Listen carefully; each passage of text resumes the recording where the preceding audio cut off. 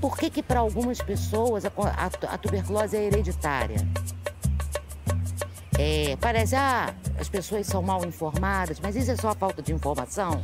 Essa é fácil de responder, hereditariedade é a condição social.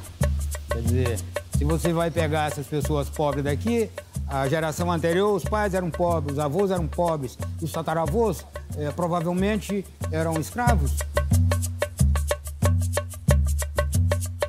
Aonde a tuberculose está instalada são cidades com elevado adensamento populacional, com um grau de urbanização grande, onde se produz riqueza, mas a riqueza não é distribuída de forma igual. Alvorada, lá no morro, que beleza. Ninguém chora, não há tristeza. Ninguém sente de sabor. O sol colorido é tão lindo, é tão lindo e a natureza sorrindo, tingindo, tingindo alvorada.